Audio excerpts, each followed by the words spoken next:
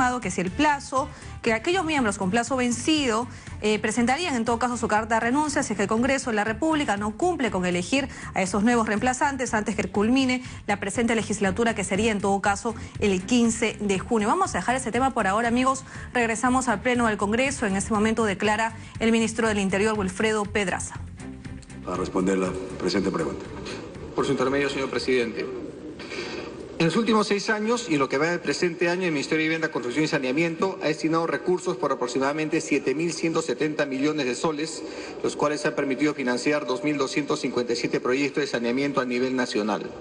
Este monto incluye las transferencias efectuadas en favor de los gobiernos regionales, gobiernos eh, locales y EPS por un monto de 6.350 millones de soles y se ha elevado de 450 millones en el año 2006 a 1.794 millones en el año 2012. Cabe mencionar que de los 6.350 millones de soles de transferencia en el 2011, 2012 y 2013, y esto no incluye una transferencia que hemos realizado el día de ayer, se ha transferido más de 3.300 millones de soles. De los 2.257 proyectos a la fecha se han concluido 1.562 de los restantes 695, la mayor parte se encuentran en construcción. Como conocen los señores congresistas, los proyectos de saneamiento normalmente tienen una duración de obra de dos años y en algunos casos hasta tres años. Sin embargo, de entre ellos hay 24 proyectos que se encuentran judicializados o que han sido sometidos a proceso de arbitraje por problemas en la construcción. Acá cabe precisar que en las transferencias que realizamos, la unidad ejecutora, es decir, el responsable por la ejecución de la obra, el responsable por la contratación es o el gobierno local, o el gobierno regional, o la EPS. Le corresponde, sin embargo, al Ministerio supervisar que el convenio suscrito se ejecute de la manera en que se ha convenido.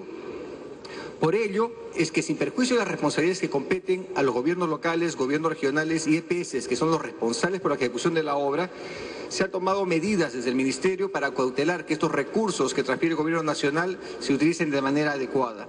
Y para ello hemos fortalecido la unidad de supervisión del Ministerio, consolidando las unidades de supervisión de transferencias de saneamiento con aquellas que se refieren a los proyectos de infraestructura urbana.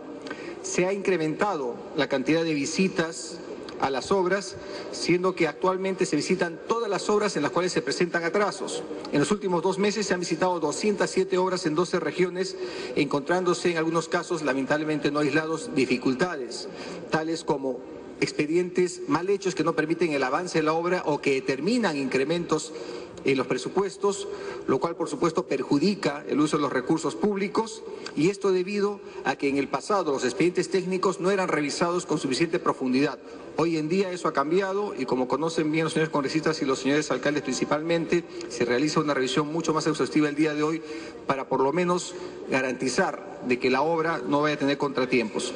Se ha solicitado la participación del OCE para establecer procesos de selección tipo convenio marco, de modo tal que para la contratación de expedientes y de obras en aquellos casos, sobre todo de municipios que tienen limitaciones de capacidad administrativa, operativa y técnica, estos convenios marco y estos contratos tipo le permitan eh, elaborar y les permitan ejecutar estas acciones de manera adecuada. Por otro lado, se ha encontrado en muchos casos, y esto nuevamente antes de la actual gestión, en que se aprobaron expedientes técnicos y obras sin tener, por ejemplo, la propiedad del terreno en el cual se iba a construir la planta de tratamiento de aguas residuales. Eso lo que ha determinado es que en el momento de ejecución de obra, los propietarios de las tierras ya no las quieren vender o elevan de manera excesiva el precio de la tierra, con lo cual se incrementan los presupuestos. Aquí lo que estamos trabajando son soluciones técnicas que permitan cambiar la ubicación de la planta. Estos son cambios menores que van a requerir un tratamiento distinto. Esto con miras a cautelar que las obras se culminen como corresponde. Se ha incluido en los convenios de transferencia incentivos para que la ejecución sea mejor. Por ejemplo, se ha limitado el plazo en el cual deben convocar a concursos. Cuando se aprueban los expedientes técnicos y se hace la transferencia, debería convocar a concurso inmediatamente. Hemos identificado que en algunos casos había municipalidades que tomaban seis, ocho meses sin convocar al concurso, teniendo expediente técnico, teniendo bases y teniendo el dinero. Eso nosotros creemos que perjudica a la población, perjudica el manejo presupuestal y por eso hemos incluido allí la obligación de convocar en máximo 30 días. Adicionalmente a ello, cuando se trata de las transferencias por continuidad, se suspenden si es que esa misma unidad ejecutora tiene proyectos que están paralizados o que presentan problemas. Por otro lado, se, ha solicitado a la Contraloría General de la República que adapte acciones con las unidades ejecutoras que no están incorporando la información de ejecución de sus obras en el sistema de infobras que permite hacer un seguimiento no solamente a la municipalidad, no solamente al Ministerio de Vivienda, Construcción y Saneamiento, sino también a la opinión pública en general, dado que este es un sistema abierto y que además, por ley del Congreso de la República, la ley de presupuesto, se hace obligatorio y así como ella está realizando continuas mejoras en el sistema de monitoreo, de modo tal que los planes que se tienen de transferencias en el futuro, que son mayores a los que ya estamos ejecutando, puedan desarrollarse de la manera que corresponde. Muchas gracias. Bien, tiene la palabra la congresista Esther Saavedra para la pregunta por un tiempo máximo de un minuto. Gracias, presidente, por intermedio suyo saludar al Premier y a los ministros y a todos mis colegas. Gracias, ministro. La única preocupación es de que hemos encontrado muchas obras abandonadas de aquel gobierno que han dejado y hemos encontrado hasta muerte de niños en zanjas que han sido ahogado un niño y eso sí nuestra preocupación y agradecerle por la visita que estamos haciendo, inspeccionando, fiscalizando estas obras con la Contraloría y más el Ministerio de Vivienda. Lo único pedirle al lado de eso, este, ministro, que se publique la relación de las malas empresas que abandonan o no concluyen las obras y tienen que publicarse cuáles son los nombres de las personas jurídicas o de los consorcios, sino que tiene que indicarse el nombre de las personas naturales y los ingenieros irresponsables porque están agarrando las obras y abandonan y le deja a, este, a su responsabilidad el pueblo y el pueblo está muy preocupado y usted tiene conocimiento con sus técnicos que hemos viajado y también la Contraloría. Y otra cosa, llamar la atención, exhortar a las municipalidades porque hay alcaldes que se están peleando con el pueblo y están dando a personas irresponsables estos tipos de obras. Y a seguir adelante, ministro, porque agua, sin agua el pueblo no, hay, no tiene salud. Muchas gracias. Señor ministro, si tiene algo que agregar. Por, por su intermedio, eh, Tomamos nota de las recomendaciones de la señora congresista y a su vez aprovecho para agradecer la fiscalización permanente que la representación de la República realiza en las obras y que por supuesto aporta que podamos avanzar con el plan de saneamiento que estamos desarrollando desde el gobierno. Gracias. Señor relator, siguiente pregunta. Pregunta 10 del congresista Lescano Ancieta al presidente del Consejo de Ministros. ¿Por qué el presidente de la República y el gobierno no observaron, por lo menos en parte, conforme al artículo 108 de la Constitución, la Ley 29.903, Ley de Reforma del Sistema Privado de Pensiones, que incluye una norma manifiestamente arbitraria para los afiliados actuales al sistema privado de pensiones, al disponer que si estos que son más de 5 millones y todos están en el esquema de comisión por flujo, no dicen nada, serán automáticamente pasados al esquema de la comisión por saldo, mixta transitoriamente, más aún cuando el propio proyecto de ley 1213-2011-PE del Poder Ejecutivo sobre reforma del sistema privado de pensiones proponía lo contrario, es decir, que si los afiliados actuales guardaban silencio, permanecían, daban silencio, permanecían en la comisión por flujo, y más aún cuando la comisión por saldo viola el artículo 12 de la Constitución, que dispone que los fondos de la seguridad social son intangibles y viola también los artículos 2, inciso 14 y 62 de la Carta Magna, que consagran la libertad contractual y la libertad de contratar respectivamente, ya que los actuales afiliados del sistema privado de pensiones han contratado a sus AFPs con el esquema de comisión por flujo y estos contratos privados no pueden cambiarse por ley. Bien, tiene la palabra el presidente del Consejo de Ministros para responder la pregunta presentada. Sí, señor presidente. Eh, para la respuesta a esta pregunta solicito que el ministro de Economía y Finanzas eh, pueda hacer la respuesta. Bien, señor ministro de Economía y Finanzas, tiene la palabra. Muchas gracias, eh, presidente, por su intermedio, al congresista Lescano por su pregunta. La disposición que los afiliados pasen automáticamente a la comisión mixta no se da de manera arbitraria. Al respecto, cabe precisar que el Estado debe velar por el bienestar de los afiliados en el marco de la protección de la seguridad social. Siendo así, la aplicación del sistema de comisión mixta a los afiliados existentes cumple tal objetivo porque tiene por finalidad alinear los objetivos de las AFP con los de los afiliados. Para evitar algún cuestionamiento en la autonomía de la voluntad de los afiliados existentes, se otorgó un plazo para, esto, para que estos decidan cambiarse a la comisión por flujo. Caso contrario, se mantiene la comisión mixta. La existencia de un periodo de tiempo en el que el afiliado puede decidir cambiar a la comisión por flujo impide considerar que la norma imponga compulsivamente la elección del sistema de cobro de comisiones. Se trata de una elección subsidiaria ante la ausencia de una decisión por parte del afiliado. En este sentido, la aplicación del sistema de comisión mixta a los afiliados existentes no vulnera la libertad de contratación. Con respecto a la segunda parte de la, de la pregunta, quisiera comentar lo siguiente. En relación a la supuesta violación de intangibilidad de los fondos establecidas en el artículo 12 de la Constitución, cabe mencionar que, según lo señalado por el Tribunal Constitucional, la intangibilidad de los fondos pensionarios tiene por propósito asegurar que estos fondos no sean destinados a fines distintos del aseguramiento y la garantía del pago de una pensión.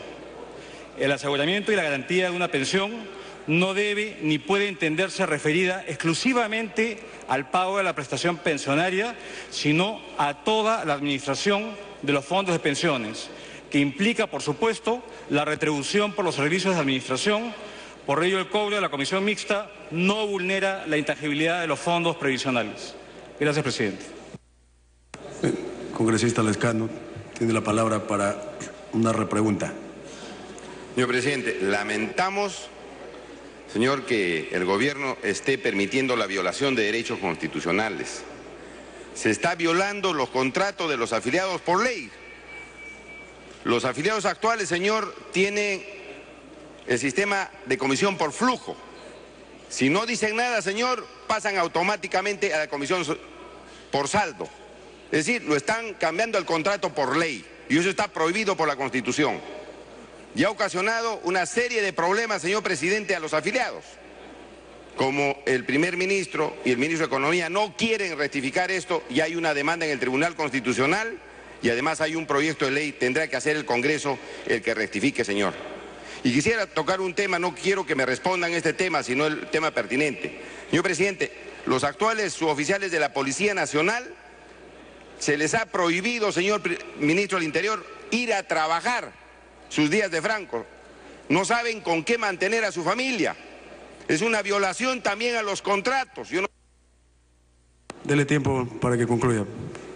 No sé, no está violando permanentemente los contratos de los afiliados y de los oficiales de la Policía Nacional. Y aquí tengo, señor, un documento como este programa de cuadrante seguro que ayer se ha presentado a la población. Se ha hecho con personal que se ha llevado de comisarías, de una serie de lugares donde trabajaban. Los han enfilado ahí, han aparentado que hay más policías y han regresado a sus puestos de origen. Señor ministro del Interior, lo han sorprendido. Aquí está la orden de policías que trabajan en el Congreso. Los han llevado con el uniforme y los han hecho regresar. Y eso, de esa manera, no se resuelven los problemas de seguridad ciudadana. Usted tiene que decirle la verdad al pueblo, le tiene usted que decir la verdad a la ciudadanía, que esos policías no son más policías, sino policías que han ido a hacer ahí una especie de pantomima y finalmente los han regresado. Aquí está el, documento, se lo voy a entregar para que vea que así no se puede resolver los problemas de seguridad ciudadana, señor, en Perú. Gracias. Bien, voy a darle uso la palabra al señor ministro. Es importante señalar, colegas congresistas, que de acuerdo al artículo 85, inciso E, la repregunta es sobre el mismo tema. Perfecto. Entonces habrá que entender que si es una pregunta diferente lo responderán después. Estamos aplicando el reglamento. Siguiente pregunta entonces. Pregunta 11 del congresista Gamarra Saldívar al ministro de Vivienda y Construcción y Saneamiento. ¿Qué medidas viene adoptando su sector para hacer el seguimiento de la evaluación de impacto de la inversión pública y si ha cumplido con los objetivos propuestos? Y en ese sentido, señale si su sector ha priorizado la ejecución de proyectos integrales que incluyan obras de saneamiento con la construcción de caminos, pistas y avenidas con el fin de ahorrar recursos y tiempo en la concreción de los proyectos, reorientando el gasto hacia proyectos de inversión pública más rentables y de mayor impacto social.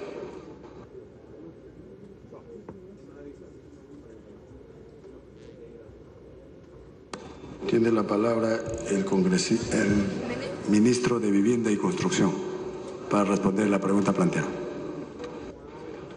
Por su intermedio, señor presidente.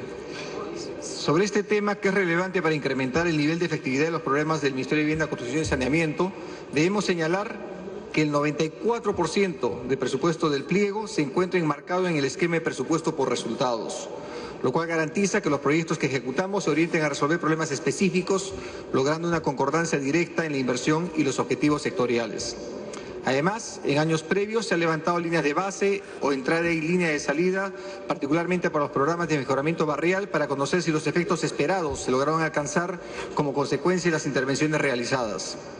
Complementariamente, se desarrollaron ejercicios de apreciación sustantiva orientados a identificar las fortalezas y las debilidades de las intervenciones. Estas evaluaciones ratificaron que las intervenciones integrales contribuyen más a la mejora de la calidad de vida de la población objeto de análisis que fue la, aquella asentada en varios urbanos marginales. Teniendo en cuenta lo anterior, se promulgó el Decreto Supremo 04-2012 de Vivienda, que crea el programa de mejoramiento integral de barrios, y se aprobó en el mes de febrero del presente año el manual de operación mediante resolución ministerial 022-2013 Vivienda, retomándose la modalidad de actuación completa o integral, tal como sugiere el señor congresista, la misma que será puesta en operación durante este año. Es necesario tener en cuenta que el Ministerio tiene, sin embargo, varios miles de expedientes de intervenciones parciales, principalmente pistas y veredas, que se han venido financiando gradualmente y en función de la disponibilidad de recursos y cuidando que éstas se desarrollen en las áreas que cumplen requisitos previos que garanticen eficiencia y efectividad en las intervenciones. Adicionalmente, en la misma línea, hemos priorizado la ejecución de intervenciones integrales que promueven de manera integral el desarrollo del entorno urbano y la creación de ciudades, como son los casos de Ciudad Satélite en Tacna, Belén Sostenible, Olmos, Pisco, intervenciones que conjugan el esfuerzo sectorial en temas de titulación, habitación urbana, infraestructura urbana, saneamiento, viviendas y otras de infraestructura para la ciudad. Y estamos presentando iniciativas normativas que permitan una mayor intervención en financiamiento y promoción de proyectos regionales y municipales para desarrollar ciudades productivas y saludables, no limitándose a la dotación de agua y saneamiento básico.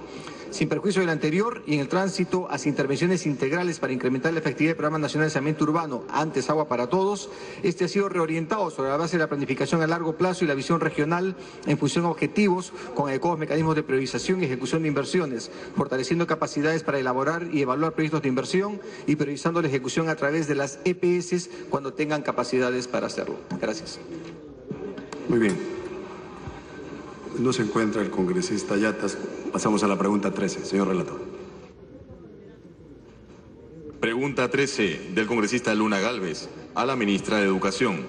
Señora ministra, es tan difícil que las universidades Nacional Mayor de San Marcos, Nacional Agraria La Molina y Nacional de Ingeniería designen o nominen a un representante calificado para elaborar el proyecto de desarrollo institucional PDI ¿O es que la población estudiantil del distrito más grande y poblado de Lima, San Juan del Urigancho, no merece ser atendida con una universidad propia?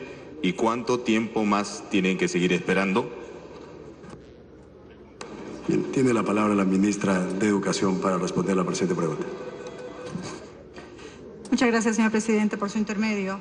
En efecto, los estudiantes eh, tienen derecho a una educación superior de calidad. Sin embargo, en este caso, precisamente por mandato de la ley 29659, que se crea la Universidad Nacional Tecnológica de San Juan del Urigancho, los miembros de la comisión encargada de elaborar este proyecto deben proceder únicamente de las tres universidades públicas, la Agraria de la Molina, San Marcos y la Nacional de Ingeniería.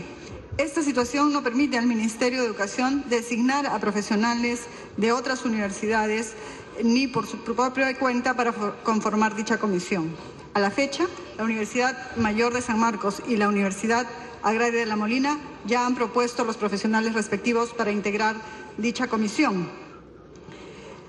Sin embargo, tenemos una observación de CONAFU porque no se ajustan a los perfiles necesarios. En el caso de la Universidad Nacional de Ingeniería, hasta la fecha no ha propuesto un profesional que pueda ser parte de esta comisión, a pesar de que el Ministerio de Educación le ha solicitado de manera reiterada, hasta con cinco oficios y con una visita de coordinación directamente con el rector, estos entre el 13 de junio de 2011 y el 27 de febrero del presente año, sin que haya obtenido respuesta alguna. Congresista Luna, va a hacer la repregunta al respecto. Presidente, en el Congreso con una forma muy seria, ha visto que San Juan de Lurigancho es uno de los distritos más pujantes del Perú. Y la propuesta era generar una universidad de ciencia y tecnología que pueda generar los profesionales que están demandando el crecimiento de 6 a 7% del PBI a nivel nacional. Se hace prioritario esto porque de lo contrario no vamos a tener los profesionales técnicos que necesitamos para que el Perú siga creciendo. Tenemos dificultades ya en este momento las pequeñas y medianas empresas de encontrar profesionales de ciencia y tecnología, incluso de nivel técnico. Esto se agrava. Necesitamos una universidad que pueda brindar lo que brinda la Universidad Nacional de Ingeniería, pero en el distrito de San Juan del Urigancho. Por eso quisiera que nos ponga fecha la ministra para ver si no en el Congreso qué podemos hacer para que esto se ejecute. No es una cuestión de una universidad elaborada en una población de 100 o 200 mil habitantes. Tiene un millón de habitantes y va, el crecimiento que tiene San Juan del Urigancho va a llegar a un millón doscientos mil habitantes para el 2014.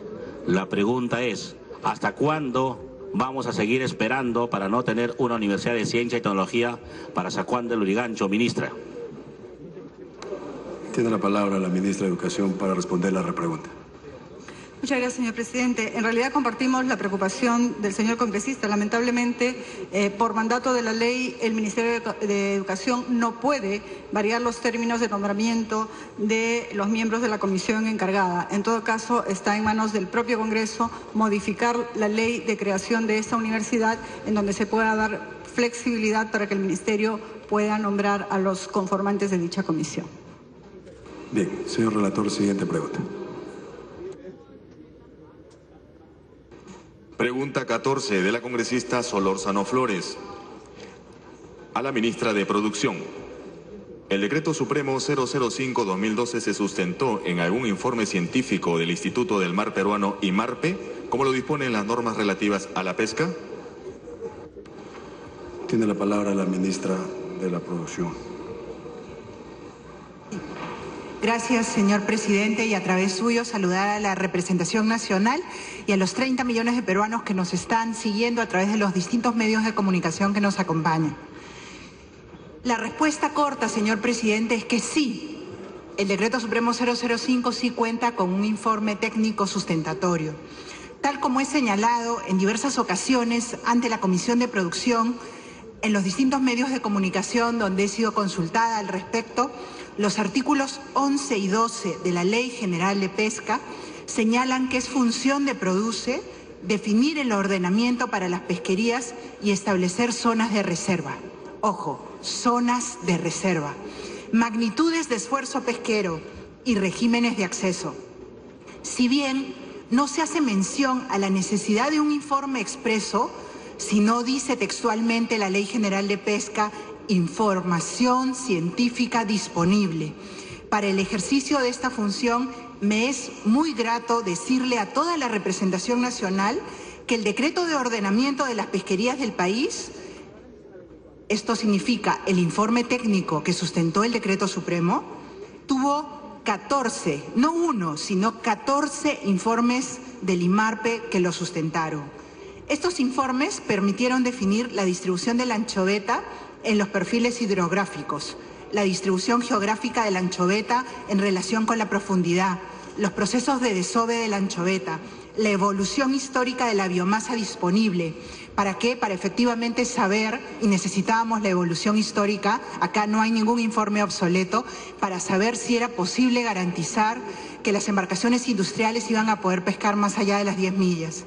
La caracterización de los zócalos continentales y los volúmenes de plancton Permítame, señor presidente, leer parte de esos 14 informes. IMARPE, el año 2000, Crucero de Evaluación de Recursos Pelágicos, Vic José Olaya Balandra, de Tacna Tumbes, informe número 159. IMARPE 2001, Crucero de Evaluación de la Biomasa Desobante de la Anchoveta por el método de producción de huevos, Vic Olaya, eh, de, de Punta Falsa, Tambo de Mora, informe 162. IMARPE 2004, eh, letra A, Crucero de Evaluación Hidroacústica de Recursos Pelágicos de Tumbes a Tacna. enero-marzo del año en referencia. IMARPE 2004, letra B, crucero de estimación de la biomasa de sobante de la anchoveta por el método de producción de huevos, Bicolaya. IMARPE 2006, crucero de evaluación de recursos pelágicos en el verano del 2002.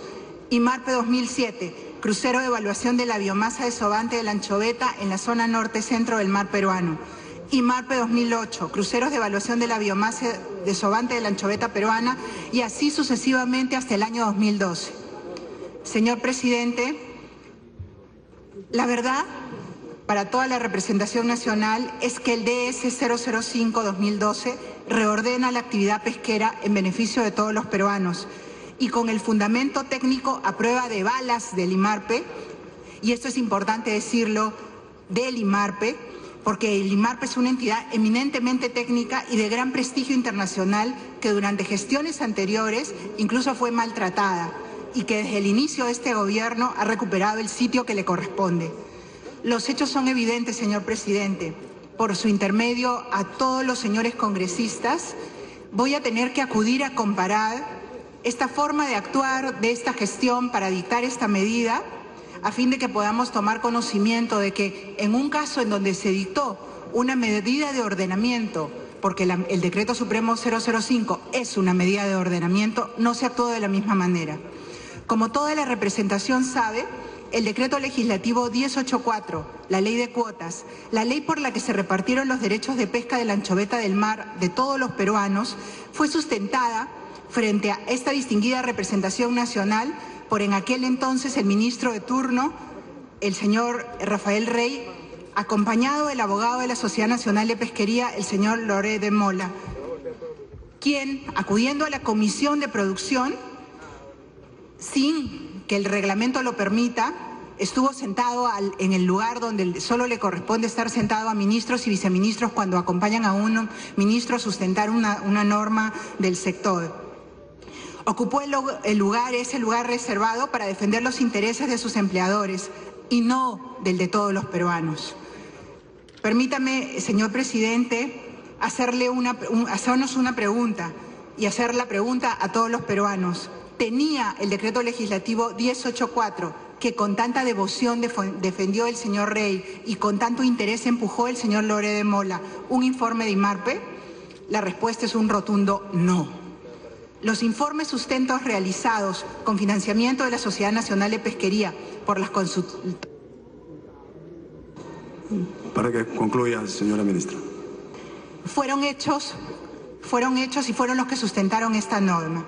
Ustedes saben, y con esto concluyo, porque así está registrado en las grabaciones en que esta ministra ha acudido a esta representación nacional, que en todos los casos ha estado acompañada del IMARPE de los funcionarios del IMARPE para contestar todas las preguntas que nos ha hecho llegar la representación nacional.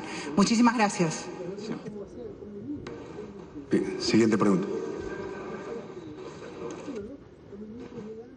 Pregunta 15 del congresista Lewy del Alcázar al presidente del Consejo de Ministros. A lo largo de nuestra historia, los gobiernos de turno, sin excepción, han descuidado los más de 7.000 kilómetros de nuestras fronteras la frontera de la región Loreto tiene una extensión de 3.276 kilómetros, poco menos de la mitad del total de nuestras fronteras, y puedo dar testimonio del abandono en que se encuentran nuestros compatriotas. Quienes se ven en la necesidad de acudir a centros médicos, escuelas y mercados de los países vecinos debido a las carencias que hay en nuestro país. Siendo esta la situación, resulta imprescindible contar con un efectivo plan estratégico de desarrollo de nuestras fronteras que debe abordar necesariamente la lucha contra el narcotráfico, que en la actualidad cuenta con aproximadamente 30.000 hectáreas cultivadas con hoja de coca en esta zona y la minería informal de las cuencas de los ríos Marañón, Napo, Putumayo, entre otros. En este sentido, solicitamos tenga a bien informarnos qué medidas concretas ha dispuesto el Gobierno para remediar estos problemas, teniendo en consideración que son políticas de Estado y que a la fecha no se percibe mayor cambio. Tiene la palabra el presidente del Consejo de Ministros para que responda a la pregunta presentada. Sí, señor. Muchas gracias, presidente. El gobierno del presidente Ollanta Humala otorga especial importancia a las zonas de fronteras de nuestro país. El Perú cuenta en la actualidad con un plan de desarrollo e integración fronteriza que está siendo implementado de forma transversal por diversos sectores. El Ministerio de Relaciones Exteriores, a través de la Dirección de Desarrollo Fronterizo, realiza una activa y permanente labor de vinculación con nuestros países vecinos. Fruto de ese trabajo, señor presidente, son la gran cantidad de acuerdos internacionales que ha suscrito el Perú con nuestros, nuestros vecinos en múltiples materias. A nivel nacional, el Ministerio de Vivienda, Construcción y Saneamiento, mediante el Decreto Supremo número 083-2012-PCM, declaró de interés nacional y de necesidad pública la elaboración y ejecución del Plan de Desarrollo de Ciudades Sostenibles en zonas de frontera. Por otro lado, mediante resolución ministerial número 162-2012, Vivienda, se ha encargado a la Dirección Nacional de Vivienda la elaboración y ejecución del proyecto piloto del Plan de Desarrollo de Ciudades Sostenibles en Zonas de Frontera en coordinación con la Comisión Multisectorial de Naturaleza Permanente creada por el Decreto Supremo 083 antes referido. A la fecha se han iniciado los trabajos de gabinete y de campo en las fronteras de Tacna, Tumbes y Cajamarca y se tiene programado iniciar los trabajos en Loreto este mes. En el área de salud, el Gobierno Regional de Loreto para la función de salud entre el 2009 y el 2011 y el 2012 ha asignado 59,6 millones de soles para intervenir en procesos de inversión para la red de servicios de salud, incluidos los hospitales, siendo el 2012 el de mayores recursos, 20,8 millones de nuevos soles, y la ejecución de los mismos ha tenido comportamientos disímiles, pues en el 2010 se tuvo un 78,3% de ejecución, el 2012 el 2011 el 13,9% y el 2012 el 71,7%, por lo que en el acumulado de dichos años solo fue de 33 millones de soles lo invertido en la zona por parte del gobierno regional de Loreto. En el caso de los gobiernos locales, estos han tenido un presupuesto también importante para el mismo periodo, 2009 y 2012, que fue de 31 millones de soles, en donde también la ejecución fue variable, pues durante el año 2009 fue del 45,2% y en el año 2012 el 60,1%, con un total de ejecución de 17,7 millones de nuevos soles. En relación al tema de la lucha contra las drogas, dentro de la estrategia de lucha contra las drogas podemos mencionar lo siguiente. Durante el año 2012 el Gobierno destinó 101 millones de soles para la implementación de la Estrategia Nacional de Lucha contra las Drogas como muestra de su firme compromiso en esta materia. Para el 2013 se han aumentado los recursos financieros para este mismo fin a 250 millones de nuevos soles y para el 2014 se prevé un presupuesto de 380 millones de soles en la lucha contra el narcotráfico. Siendo importantes los recursos destinados por el Estado peruano para la lucha contra este flagelo, esta tarea por su parte es necesaria para ser acompañada con mayor cooperación por parte de la comunidad internacional, dado que este, esta ha venido reduciéndose en los últimos años la inversión para el año 2013 apenas alcanza los 25 millones de dólares. Nuestro país continúa estrechando relaciones con diversos países de la región en materia de la lucha contra las drogas, a través de mecanismos bilaterales, entre ellos la realización de reuniones de comisiones mixtas antidrogas, labor que coordina estrechamente de vida con el Ministerio de Relaciones Exteriores y en adición a ello se llevan a cabo reuniones de las autoridades fronterizas, en este caso el Ministerio del Interior y Ministerio de Justicia en diversas ocasiones, justamente con nuestros países vecinos. Existe un gran número de proyectos de desarrollo y acciones que realiza el Estado en zonas de frontera, que serían imposibles en un tiempo tan limitado, señor presidente, referirlas aquí, por lo que nos comprometemos a entregarlas por escrito en el plazo que establece el reglamento del Congreso de la República. Congresista Levis, va a ser una repregunta. Sí, presidente. No dudo de, la importancia que le pueda dar el, el, Estado, el gobierno a las fronteras, pero en especial la frontera de Loreto, 3.276 kilómetros de frontera, insisto, no recibe el impulso que merece el 30% del territorio nacional. Si bien es cierto la población puede no ser tan densa como en otros lugares, pero creo que es el momento de que además de plantear obras importantes en salud, en educación seguramente, en, infraestructura básica, necesita que la frontera comience a mirar hacia adentro de la región, que tenga la posibilidad de desplazarse desde las fronteras hacia los centros o a las ciudades eh, más, pobladas, como por ejemplo Iquitos, zonas donde converge casi toda la economía de la región. Ese aislamiento es parte del atraso al que están eh, prácticamente sacrificados nuestros pobladores de las fronteras. Y creo que no existe hasta ahora, al margen de los comentarios hechos por el primer ministro, eh, eh, decretos supremos, acuerdos, etcétera, realmente no existe un plan estratégico de desarrollo de fronteras en nuestra región que nos haga visorar que esas poblaciones abandonadas durante muchos años en el Alto Putumayo, en el Bajo Yabarí, en la cuenca del Napo, arriba, frente, en la frontera con Ecuador, tengan la posibilidad de ser parte de nuestra región y a su vez parte del país. Por eso creemos que todos los estudios, diagnósticos, Dele tiempo para concluir, Que seguramente ocupan grandes espacios en, en, las oficinas, todavía no marcan una meta definitiva como para visorar que nuestra región tiene posibilidad de desarrollar. Creo que es importante que se consensúe un plan estratégico de desarrollo a 15, 20 años, donde sea una ley de cumplimiento obligatorio para desarrollar líneas maestras de desarrollo como tema de conectividad, tema de marco tributario, tema de matriz energética, eh, obviamente eh, con el sustento de lo que es salud, educación y alimentación como trilogía de emergencia básica. Presidente, eh, no dudamos de la intención del gobierno, por ejemplo, en la lucha contra las drogas. Han, este, han programado inversión de 150 millones, pero a la fecha de vida no puede renovar el convenio con el gobierno regional, un convenio que ha cumplido toda la extensión los proyectos y objetivos que se habían trazado y son 6 millones de soles. Y se está perdiendo el avance de el logro eh, de hacer un equipo que trabajó, como, y de esto puede dar fe la directora eh, Macías, de los éxitos que se lograron. En presencia de ella hemos estado allá visitando alguna vez la titulación de 2.000 parceleros y, y, que era parte del proceso de incorporación en esta lucha contra la droga. Sin embargo... tiempo, concluya, congresista. Eso está pendiente y creo que vamos a perder ese espacio de desarrollo. Creo que en ese, en, ese detalle podemos ver que no se está trabajando eh, al ritmo que merece nuestra región. Presidente, creo que debemos pedir, y usted más que nadie eh, apoyar, que que se comience a trabajar por la región Loreto y darle la prioridad que no se le dio durante muchos años. Gracias, presidente. Primer ministro, para contestar la, la repregunta. Sí, señor. Definitivamente la sensibilidad en el desarrollo del Plan Nacional de Integración Fronteriza es uno de los aspectos eh, de preocupación del gobierno. Somos muy sensibles a eso. Y quiero enfatizar que el país ha cambiado.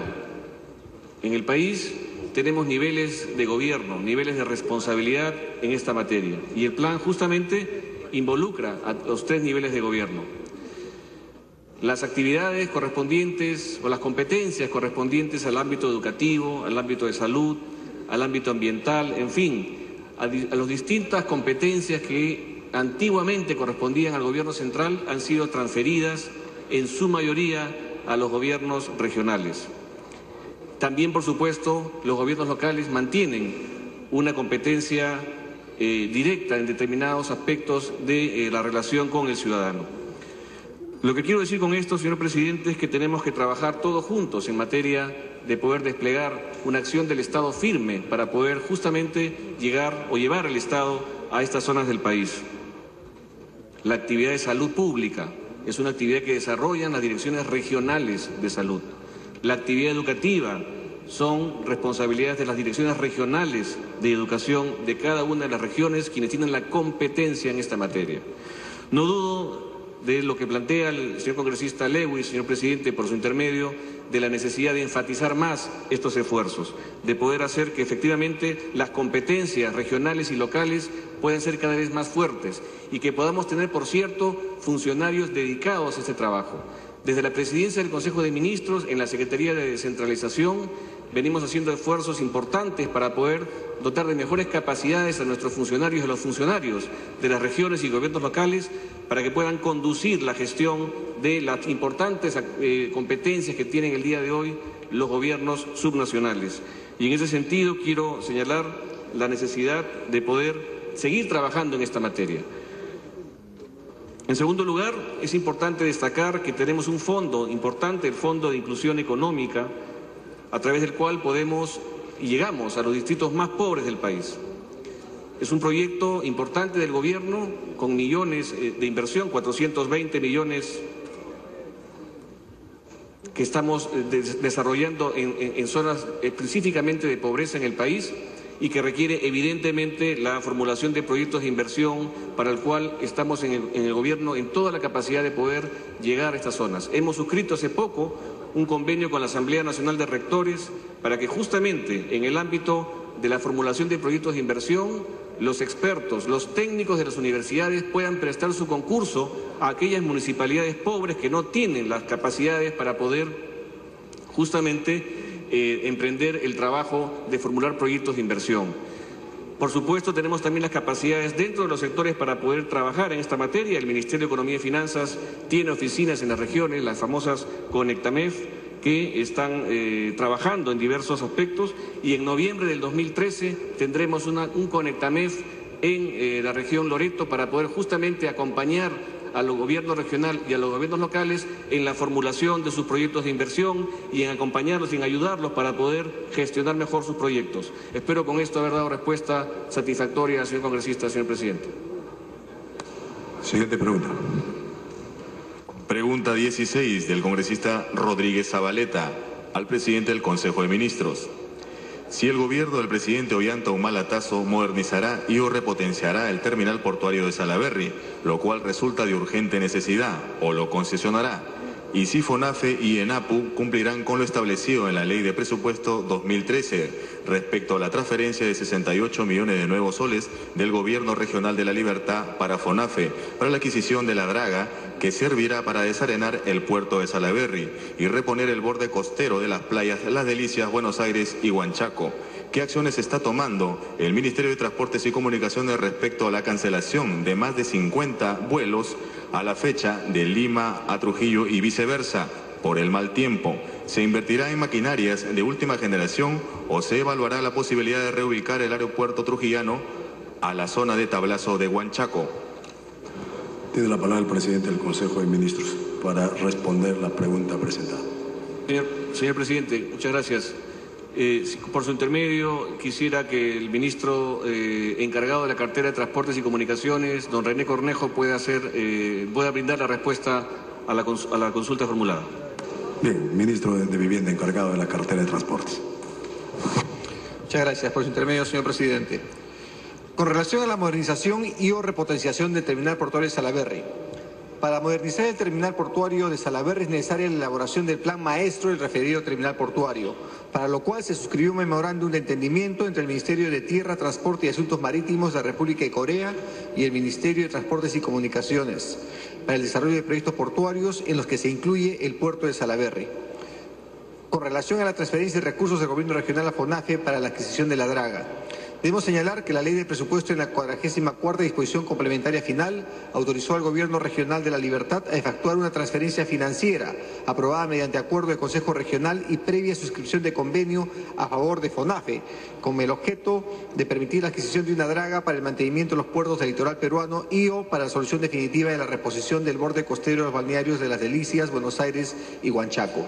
Asimismo, debemos señalar que la fecha se encuentra pendiente de aprobación por el Consejo Regional de la libertad de la transferencia financiera indicada. En tal sentido, las acciones descritas son de competencia de ese gobierno regional. Respecto a las acciones que ha tomado el Ministerio de Transportes y Comunicaciones con relación a la cancelación de más de 50 vuelos de Lima a Trujillo y viceversa, Debe indicarse que dicho aeropuerto internacional cuenta con equipamiento de aeroayudas, iluminación aeronáutica y cartografía aeronáutica adecuada para la característica de aeronaves y operaciones que allí se desarrollan. Y está dotado de procedimientos de aproximación por instrumentos en diversas configuraciones, además de rutas de salida y llegadas instrumentales. Asimismo, debe hacerse notar que en el citado aeropuerto se han registrado en el año 2012 7.356 operaciones domésticas y 90 operaciones internacionales. Cabe mencionar que la Dirección General de Aeronáutica Civil del MTC ha certificado a la empresa LAN Perú un procedimiento para el aterrizaje en la pista 20 basado en tecnología GPS y equipos aviónicos de a bordo, lo cual les permitirá contar con una segunda opción para aterrizaje, lo que reduciría la cancelación de los vuelos siempre y cuando existan condiciones meteorológicas adecuadas. Por último, debemos señalar que la Administración del Aeropuerto Internacional de Trujillo está a cargo de la concesionaria Aeropuertos del Perú, ADP, bajo la supervisión de OCITRAN. Con relación a la compra de maquinaria de última generación para la seguridad de la inauguración comercial o la reubicación del aeropuerto a la zona de Tablazo en Huanchaco, debemos señalar lo siguiente. El aeropuerto cuenta con un equipamiento automático meteorológico AWOS que es operado por personal de Corpa, debidamente calificado para proporcionar informes METAR o SPECI las 24 horas del día. En esta localidad se está produciendo en las últimas semanas un cambio estacional de verano a otoño con mucha variabilidad, originando por bajas temperaturas del agua de mar, alta humedad ambiental y vientos calientes procedentes del norte. Esta configuración atípica viene produciendo de manera continua la presencia de techos de nubes bajos. El procedimiento de vuelo asociado al sistema de aterrizaje de precisión ILS-CAT-1 permite el descenso del piloto en trayectoria sobre el mar, sentido suroeste-noreste, hasta una altura de 250 pies. Por ende, con, con techo de nubes de 200 a 100 pies sobre la estación, es previsible que el piloto no obtenga contacto visual con la pista y no pueda concretar el aterrizaje, debiendo frustrar la aproximación. En el caso de Trujillo, el mínimo de descenso está determinado por obstáculos artificiales y naturales, el Cerro Campana, entre otros, y por ello instalar un sistema ILS CAT-2 o CAT-3 similar al de Lima en el Aeropuerto Internacional Jorge Chávez no necesariamente permitiría mejorar las condiciones operacionales cuando estén limitadas por un techo de nubes adverso. En conclusión, el equipamiento de Trujillo cumple el estándar operacional internacional y se encuentra plenamente operativo por parte de Corpac. La cancelación de vuelos en la presente estación se debe a la nubosidad baja presente en periodos de la madrugada y primeras horas de mañana y a circunstancia típica que ha sido antes mencionada. La factibilidad para instalar un sistema ILS CAT2 o CAT3 para mejorar la categoría operacional de Trujillo como mitigación para la universidad, para Versa está siendo analizada. Se reitera que los obstáculos circundantes son el principal factor que determinaría la viabilidad técnica de esta propuesta. No se prevé que los actuales fenómenos meteorológicos que inciden en la cancelación de algunos vuelos puedan justificar una reubicación del aeropuerto a la zona de Tablosa de Huanchaco, toda vez que se trata de fenómenos de carácter estacional que en este caso se han prolongado de manera típica. Y para terminar, se debe mencionar que en el año 2004 la pista de Trujillo fue objeto de una ampliación de 600 metros, contando a la fecha con 3.000 metros de longitud por 45 de ancho y además se renovó la iluminación de la pista. La pista, por su resistencia, permite operaciones de aeronaves de carga. Gracias. Bien, tiene la palabra el congresista Rodríguez Zabaleta para hacer una repregunta. Señor presidente, señores ministros, me dirijo al encargado del despacho en esta cartera el señor ministro de Vivienda y a través de él quiero que estas palabras se transmitan textualmente al encargado de del Ministerio de Transporte, me refiero a nuestro señor ministro que hoy está fuera del país. Lunes 16 de mayo del año 2011, ante más de mil empresarios y productores agropecuarios que colmaron la sede de la Cámara de Comercio de la región La Libertad y de Trujillo. El otrora candidato del nacionalismo, hoy mandatario de esta nación, expresó las siguientes palabras. La clase política peruana es corrupta y ha impedido que se modernice el puerto de Salaberry y se cumpla con el proyecto Chaimochi. Un gobierno nacionalista los hará realidad con financiamiento estatal y el apoyo a las pymes de la industria del calzado será una realidad. Han pasado ya 20 meses y esta promesa sigue aún en la retina y en la mente de los liberteños. Hoy nos responde, no el ministro de Vivienda, que es un gran ministro y que viene trabajando bien en la libertad. Me refiero al ministro de Transportes. Hoy, señor presidente, el ministro de Transportes que no está acá.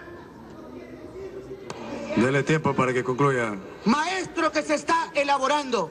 No, señor ministro, las máquinas son las mismas de ayer. No, señor Premier de la República. El gobierno de la libertad está destinando 68 millones de soles. Este parlamento ha dado la ley que propone de interés nacional comprar una draga. Para nosotros, el puerto de Salaberry, con la tercera etapa de Chavimochi, con la salida de los minerales de muchas empresas, significa hoy en día vivir o morir, señor presidente, porque ese es el desarrollo de nuestra región. Señor presidente, Basta de promesas electorales incumplidas. Es hora de cumplir con la región la libertad. Muy bien. Tiene la palabra el ministro de Vivienda encargado de la cartera de transportes para responder.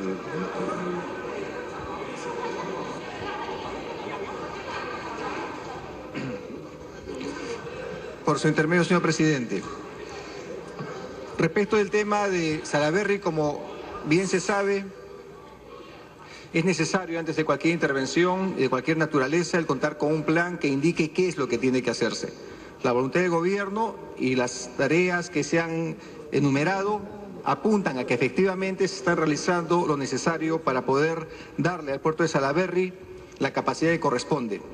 Ha sido mencionado el tema de Chaimochí, como se sabe, Chaimochí ya ha sido convocado, es un proceso que ya está en marcha. De modo